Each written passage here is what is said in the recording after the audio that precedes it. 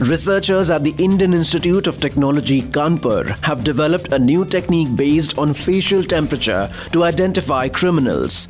For this, researchers conducted a study pertaining to different human emotions such as shame, embarrassment, remorse, and guilt. Under this study, students were reminded of the past events in their lives through illustrations, and the emotions evoked in the students were studied through high resolution thermal camera.